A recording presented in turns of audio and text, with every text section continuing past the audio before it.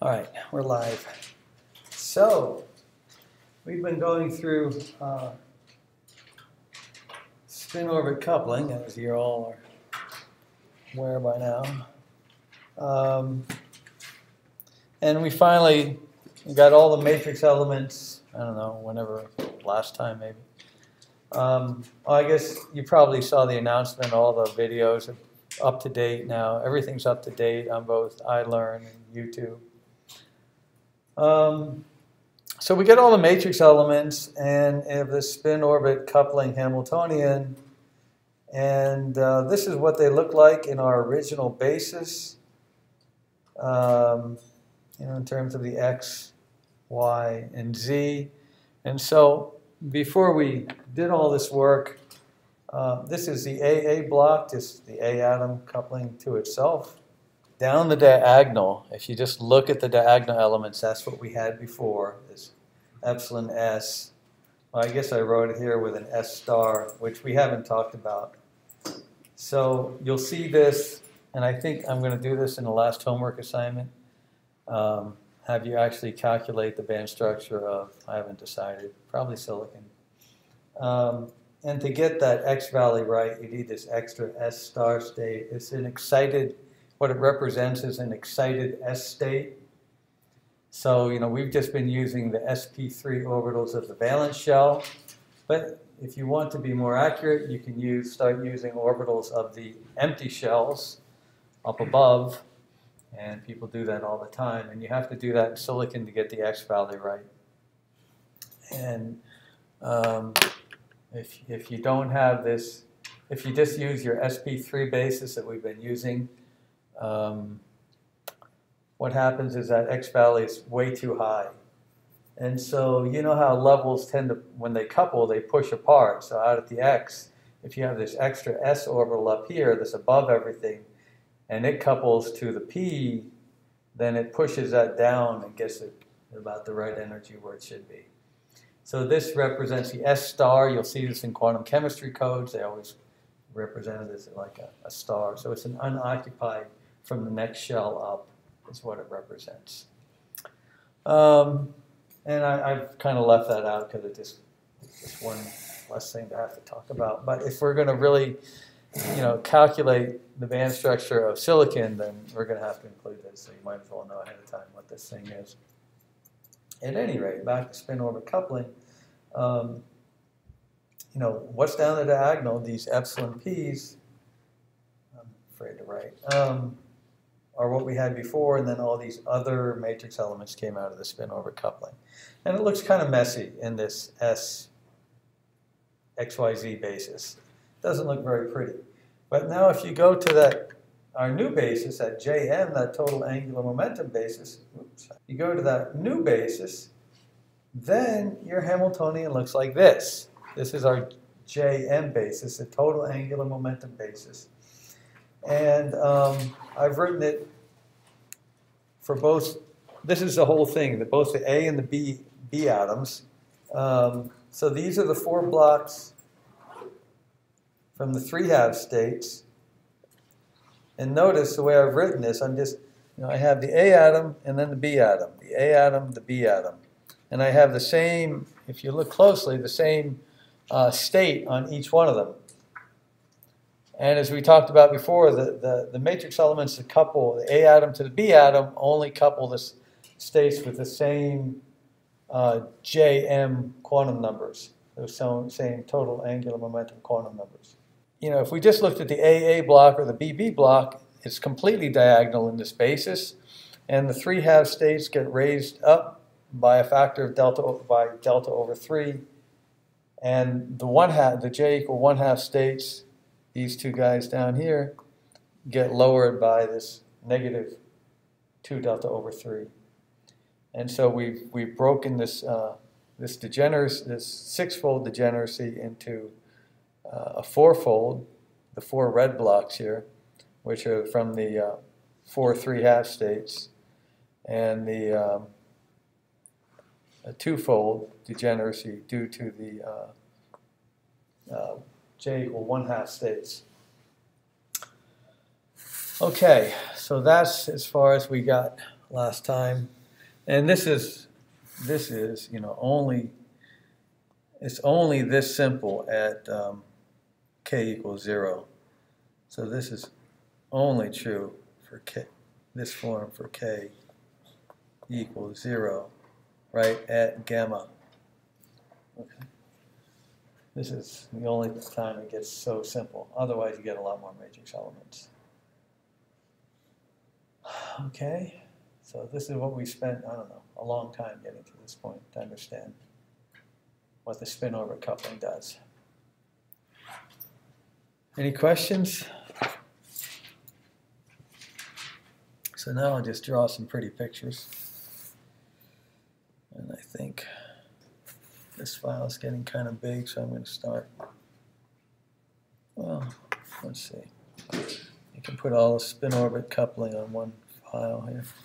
The spin orbit coupling, it splits this six-fold degeneracy that we initially had into um, a four-fold and a two-fold. And this four was going to it will become your light hole and heavy hole bands, and this two will be your your split off band.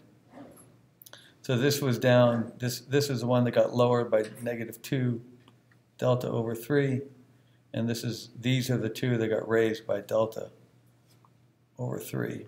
So we started off. Everything was at epsilon sub p, and then the light hole and heavy hole get raised up by delta over 3, and that split off band gets lowered by negative 2 delta over 3. And so the total splitting is delta. And if we then look sort of pictorially at what happened uh, before we turned on the uh, spin orbit coupling, we just had three bands that were completely degenerate at gamma. And so you have they're all, all have the same energy right at the gamma point. So if I include spin, this is our six-fold degeneracy at gamma.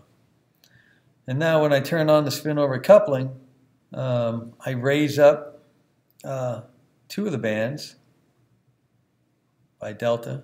One will be the heavy hole, one will be the light hole, and then I low, so they're, raised up by delta, and then this, this band down here is lowered by 2 delta. And this is your split off band. Guy is lowered down by 2 delta, 2 thirds delta. And it's your split off band, split off, looks like spin orbit. That's your split off band. And these guys are raised up by delta over 3. And you've got your heavy hole and your light hole, light hole bands. The heavy hole band, we haven't proved this or derived it, but it is, in fact, the uh, three halves plus or comes from the three halves plus or minus three half states. And the, uh, the light hole, well, it has to come from the other two because they all are j equal three halves. Is it three halves plus or minus one half?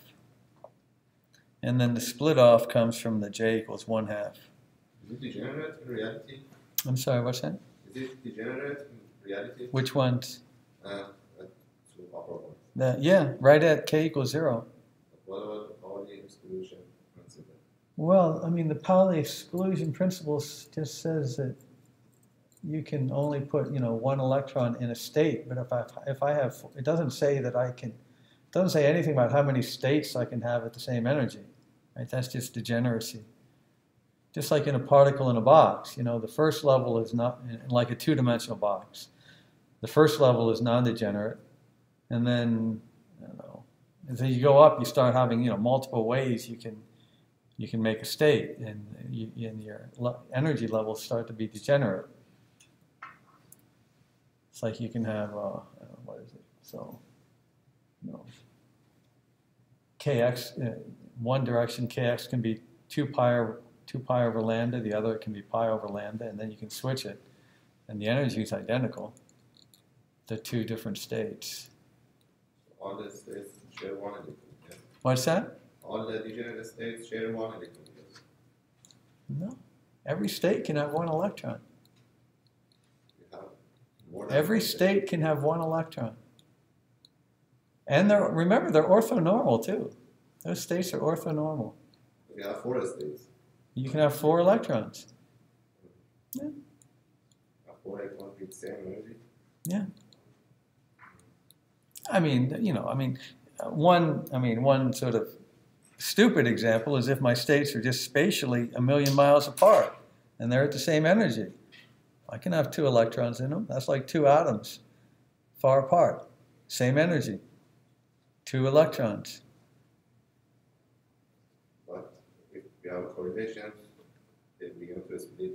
What's that? But if we have any correlation, they begin to split. Well, if there's you need for splitting, you need a non-zero matrix element between them. So you'd have to have something that gives you a non-zero matrix element between the states to split them. And if for you know due to symmetry reasons or whatever, you may not have that. You know, there's I mean, uh, going with the hydrogen atom is just a great example. You know, you, you, if you go through it in detail, you get that you know fine structure splitting and but you know you have to take into account extra stuff to and, and those splittings can be very tiny too. So i mean these so these these these guys which are in this model completely degenerate i mean they you can basically think of them as like two orbitals and two spins per orbital. I mean that's how we start. We start with two orbitals and two spins each.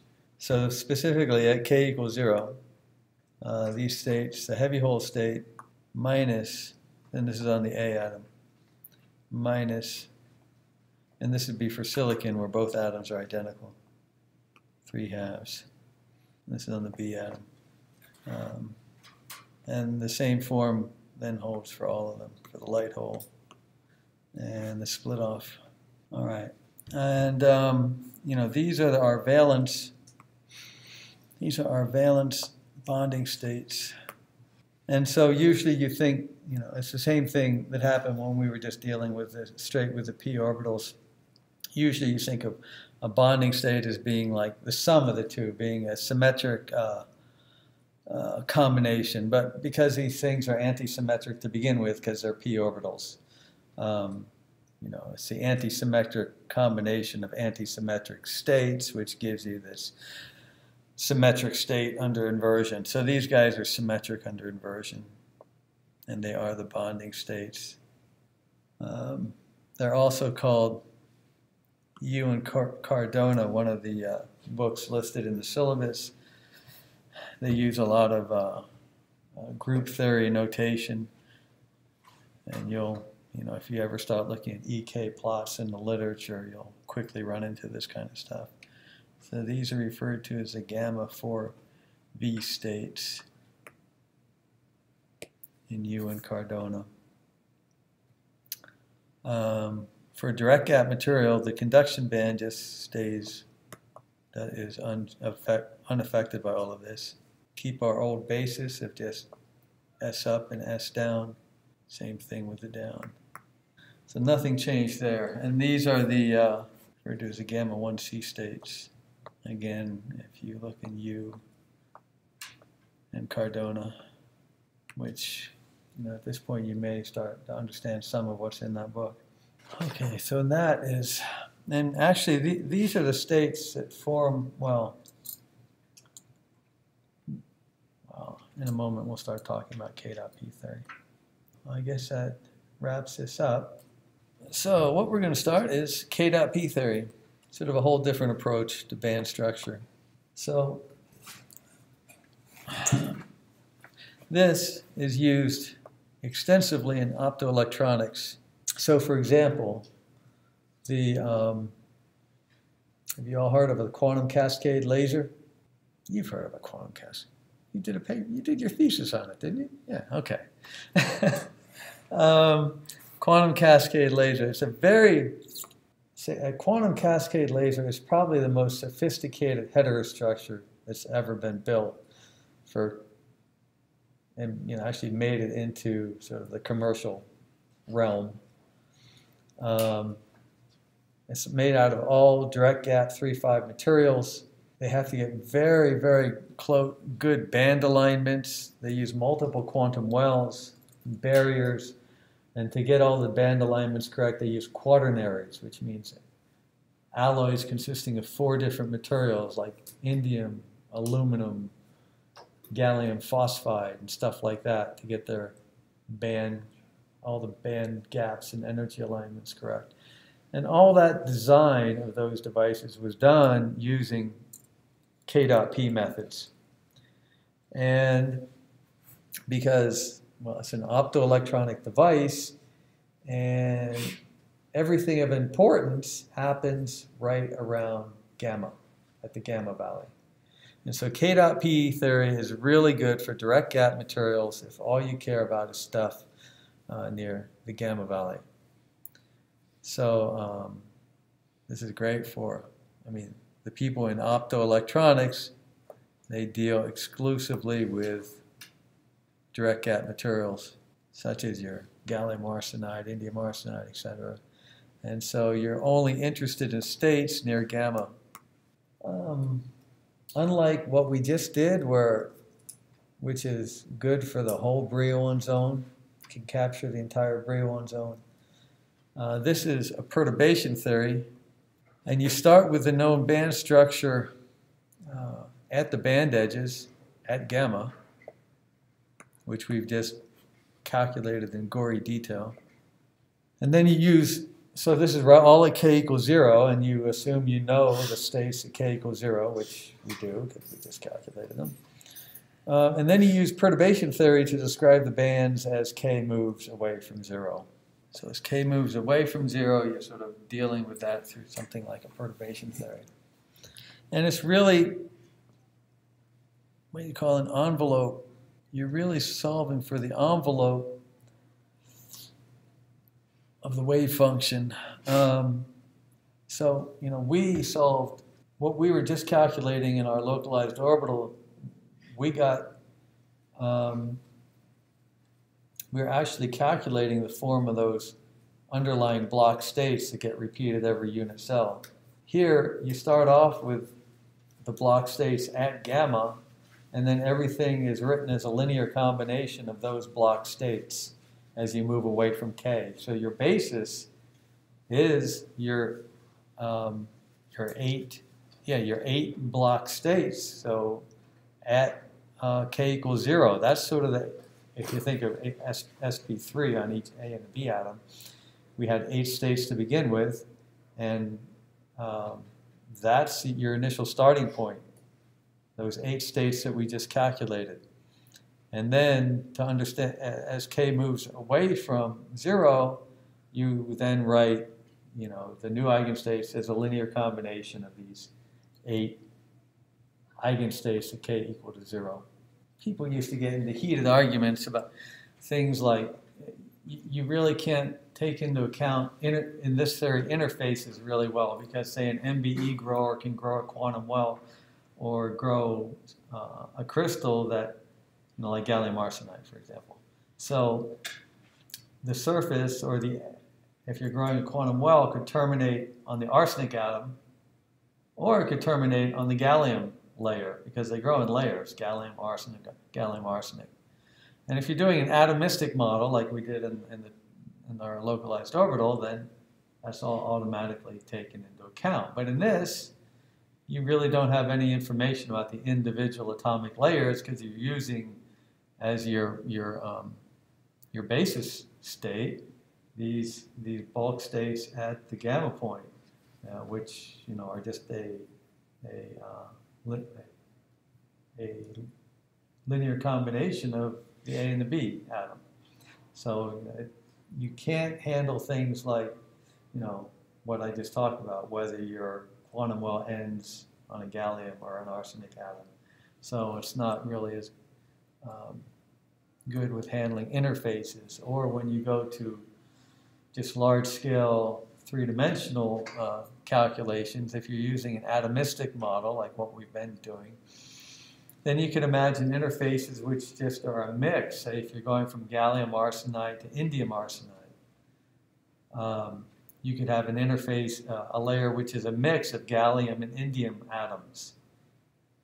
Right? And that's in, in fact what happens when you grow it depending on how you grow it. And so you can explicitly put in some, you know, random distribution of indium and uh, of, yeah, of uh, indium and gallium atoms and just explicitly solve it in your in your localized orbital in an atomistic model. And, and here you you really can't. But you know, it's it's really um, worked well for people doing uh, de designing lasers and these quantum cascade lasers. It's been very powerful, and um, also it allows you to um, work with smaller matrices. So it's numerically, uh, if you can get away with it, it's cheaper, a cheaper way to go, which we'll see as we get into this. Okay, um, so it's really sort of an en envelope function, the envelope, how much each of these states is weighted rather than getting into the individual um, atomic orbitals. One of the key things, key parameters, just like in our, our tight binding theory, we actually had a lot of parameters, you know, like VXX, VSP, which at the end of the day are usually just chosen empirically to give you, you know, the right band gaps and effective masses, which are known experimentally. Here, the important sort of parameter, one of the key parameters, is the interband momentum matrix element. And this is something that's just empirically determined. But it's sort of a, a core, it's sort of a key thing. I mean, K dot P this P is what we're talking about in the K dot P. This, this P is this essential central parameter to this theory. And once you have this P, another reason that it's really nice for optoelectronic work is that this is the same momentum matrix element you need to calculate all optical transitions calculate optical transitions, you need the matrix element of the momentum operator. And so you immediately have it sort of built into the heart of this theory. Whereas in the localized orbital tight binding theory, it's kind of, there's been many papers written about how to appropriately calculate the momentum matrix element in your tight binding theory. I mean, if you really start to think about it, we kind of never really talked about the momentum matrix element, right? We wrote, and so in tight binding, in our localized orbital tight binding theory, we just wrote down a Hamiltonian of p squared over 2m plus, you know, some sum of all the atomic potentials, you know, for each for each atom. But now, and we, you know, we took the matrix element of that, we got parameters, and then we sort of parameterize it. But now if I say, okay, given, you know, some S on the A atom, PX on the B atom, what is the momentum matrix element? Nobody really knows. There's been lots of papers written on the appropriate way to do this. But you'll see in this K dot P theory, it just kind of, it's obvious. Okay, and again, this is, you know, if you want to do optical transitions, this is what you're looking for. Um, okay, so let's just get going here. Um, so we are going to be considering a direct gap semiconductor.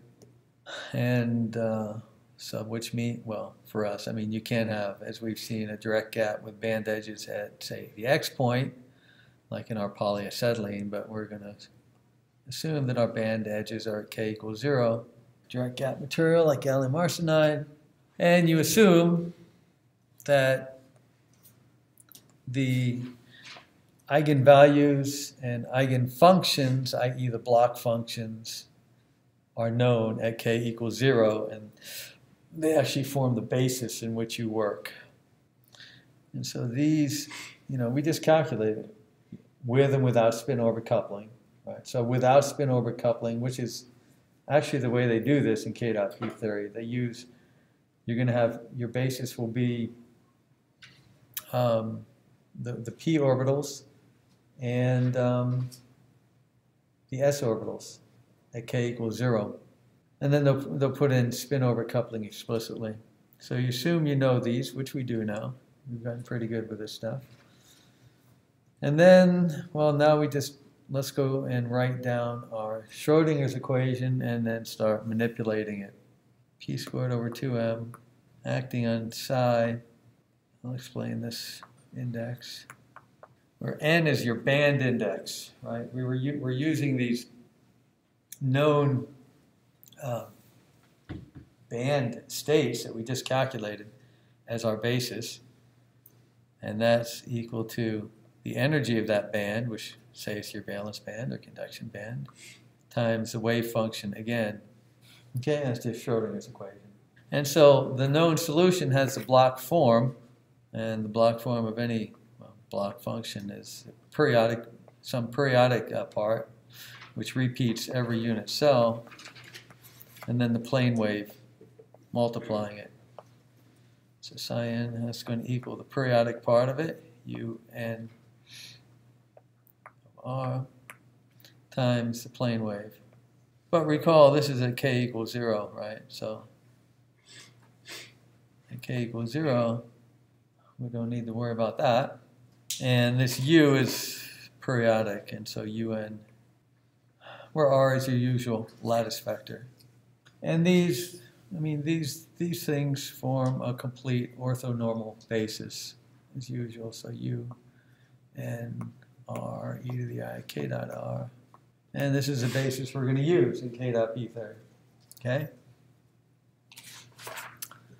So what we do is we put one of these, we just wrote down Schrodinger's equation, and now we just replace psi with this guy right here. So wherever we saw psi in our Schrodinger's equation, we're going to put in this because we know this is a form of psi. Okay. So let's, we'll go ahead and do that. And that's just equal E times the same thing again. And E will also have the indices for the band index. It's a function of K times U again. Okay, I just replaced everywhere I had psi with this special form of psi of a Bloch function. And then what we do is we evaluate the, that p squared term, which, you know, the p squared term is um, minus h bar squared over 2m grad squared, hitting everything to the right. Right? That's what that p squared term is. And so that acts on everything to the right, which is our so this has, the U has some spatial dependence. And the e to the i k dot r has space. So it's going to hit both of those things, right? You got to use the product rule. And you got to do it twice because it's grad squared. And so it takes a few lines, you know, first you do, and you know, you can think of it as ddx and just do it in 1D if you like. But you, um, so you crank that out and page 6-3 of the PDF notes if you want to see the details of working that through, the tedious details. So right, you just apply it twice to that u e to the i k dot u e to the i k dot r term. And what you finally get is um, p squared over 2m. So when I close the parentheses, I mean it does not act on the e to the i k dot r now plus 2 times h bar k over 2m dotted into p, which is again only acting on the u term with an e to the i k dot r sitting out here, and plus the last term uh, h bar squared k squared over 2m u e to the i k dot r.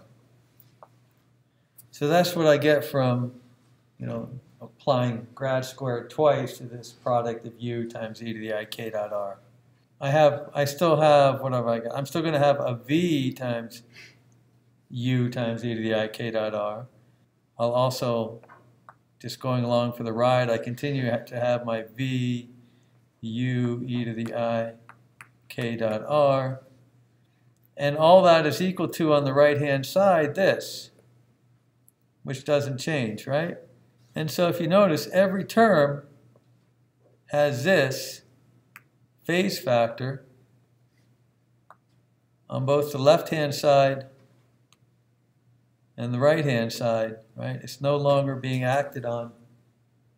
You see that yellow? Did that show up at all? Let me try something a little bolder here. Red, how about red? Every, every term now has this phase factor in it, which is now outside of the derivatives on both the left and right-hand side. And so you can cancel that phase factor out from everything. And uh, now you just have an equation for the u, the periodic part of the Bloch function. And if you look, here we have a k dot p, hence the name of the theory. We've picked up something new that wasn't in Schrodinger's equation before. Before, you know, before we had this term, you know, we still have a p squared over 2m acting on u. Um, we get this extra, this is just a number now that depends on k, right? It's just this free particle energy, h bar squared k squared over 2m, parabolic type energy, act multiplying u. We've still got the potential multiplying u. So all these look like terms that you could end up with in Schrodinger's equation. But what's completely new we haven't seen before is this k dot p term. Hence the name of the theory. And so if we finally write all this out, the equation for u that we have, uh, p squared over 2m uh, plus h bar k dot p over m plus h bar squared k squared over 2m plus your crystal potential is periodic potential due to the whole crystal acting on U is equal to the energy times U. And so this is our starting point for K dot P theory. And everything, you know, if you just saw this, okay, you've got this funny, this is a little strange, I mean, but it looks just like some, you know, parabolic kinetic energy term proportional to K squared. All right, and this, you've always been dealing with this term right from the beginning. That always shows up in the Schrodinger equation. Your potential, well, that's always there, but this is this new thing, this K dot P term. And now let's talk about perturbation theory and what you can get out of this, some of the relationships you get from this equation. So we're going to use, use perturbation theory to calculate are, are k-dependent energies for each band n. So En of k and our new um, Bloch functions, the u functions, u, n, k, in terms of what they were at k equals 0, which are your, the, your sort of the known quantities that you start with. So this is, I mean, you know, when we were solving our 8 by 8 Hamiltonian and tight binding, we were just, we were also calculating the periodic part of the Bloch function. The part gets, gets repeated, and um, those are the coefficients right, that you calculate from that 8 by 8 matrix in the tight binding approach. And then to get the full wave function, you multiply those coefficients by that Bloch sum basis, which has that e to the i k dot r built into it. And so it's sort of the same thing here. Okay, so let's look at the first order correction to the energy. The perturbing terms, I mean, what, we start with the um, this equation at k equals 0. So at k equals 0, right, these terms are not there. These two terms are 0 at k equals 0, right, because they have a k in them.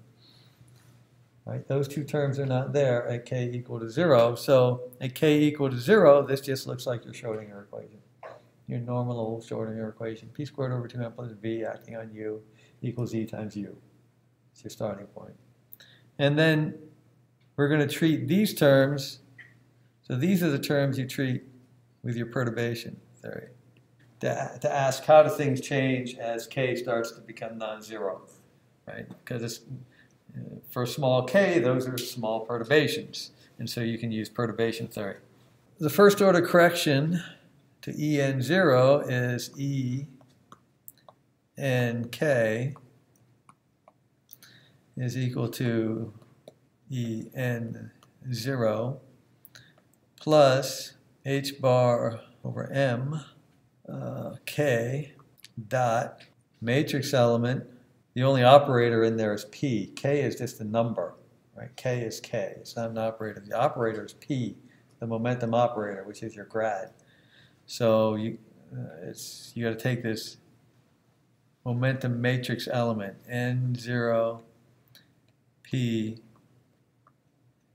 n0 and well what about this term that has a k in it but that's second order in k and we're doing first order perturbation theory so you only include terms which are first order in the thing you're perturbing with that's why for first order perturbation theory that term is not there. The only first order term in K is that K dot P term, right? It's the only term first order in K. So do you all remember first order first order perturbation theory? That's I mean the change in energy delta E.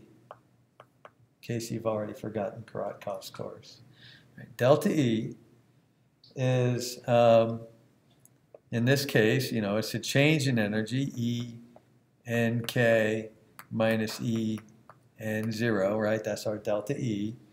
And that's just the matrix element of your wave function with whatever your perturbation is. So, and 0 and whatever your perturbation is, usually in perturbation theory they'll call it like H prime, some perturbing part of your Hamiltonian.